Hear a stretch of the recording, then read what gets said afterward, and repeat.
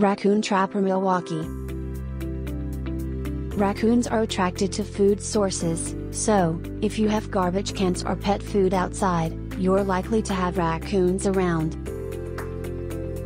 Raccoons are also good climbers, so they can get into your attic or chimney easily.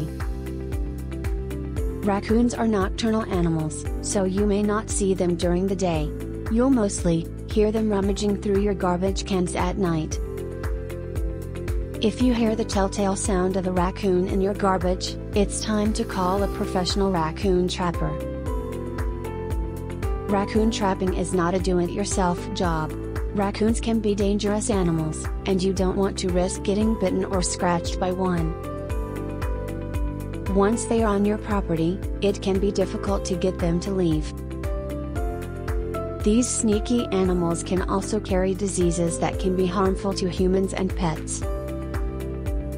There's a high rate of rabies in raccoons, so it's important to be careful. Besides rabies, raccoons can also carry other diseases like roundworm and leptospirosis. Doing a DIY raccoon removal is definitely a no-go, as you may not have the right equipment or experience to do so.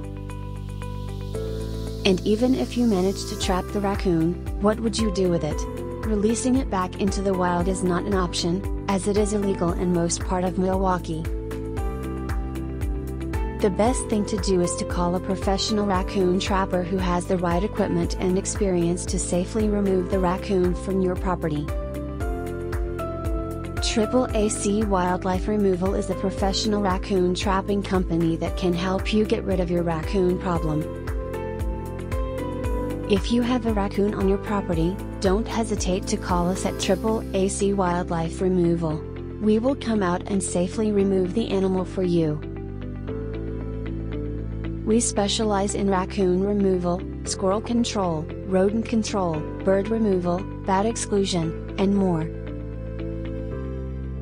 We also service the surrounding areas of Waukesha, Oak Creek, Racine, Delafield, Menomonee Falls, Burlington, and Brookfield.